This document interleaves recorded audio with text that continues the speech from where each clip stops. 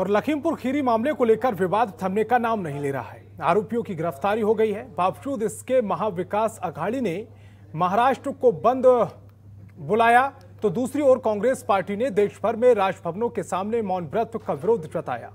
इस बार भारतीय जनता पार्टी के लोकसभा सांसद विनोद सोनकर ने कहा कि विपक्ष एक संवेदनशील मसले पर सियासत कर रहा है। उनसे खास बातचीत की हमारी संवाददाता ममता चतुर्वेदी ने।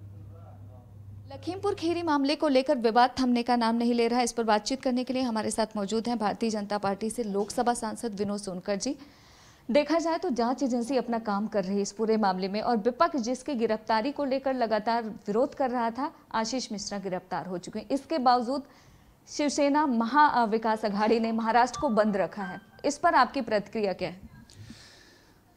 देखिए, कहीं पे निगाहें, कहीं पे निशाना।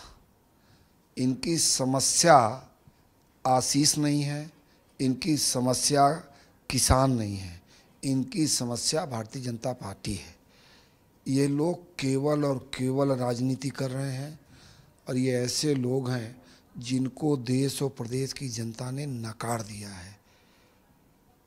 इसलिए केवल उसका बहाना लेके ये तरह तरह का आरोप लगा रहे हैं, जबकि आज कानून पूरी तरह से अपना काम कर रहा है जाँच एजेंसी अपनी पूरा काम कर रहा है और वो न्यायिक हिरासत में है उसके बावजूद उनको इस तरह करना मुझको लगता है कि ये दुर्भाग्यपूर्ण है। आखिरी सवाल क्या आपको लगता है कि आने वाले समय में उत्तर प्रदेश में क्योंकि विधानसभा चुनाव है ऐसे में एक मुद्दा मिला है विपक्ष को और विपक्ष इस मुद्दे को छोड़ना नहीं चाह रहा? देखिए कोई मुद्दा उद्दा नहीं है वो मुद्दा उसी दिन समाप्त हो गया।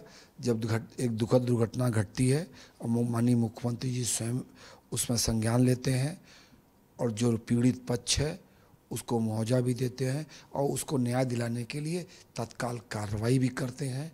तो मुझको नहीं लगता कोई मुद्दा बचा है ये केवल राजनीतिक रूप से इसको मुद्दा बनाए रखना चाहते हैं जबकि जनता में मुद्दा समाप्त हो चुका है। वक्त देने के लिए शुक्रिया। कैमरा पर्सन शेरा सिंह के साथ ममता चतुर्वेदी जनतंत्र टीवी दिल्ली। खबरों के निष्पक्ष विश्लेषण के लिए सब्सक्राइब करें Jantantra TV and press the bell icon never miss any update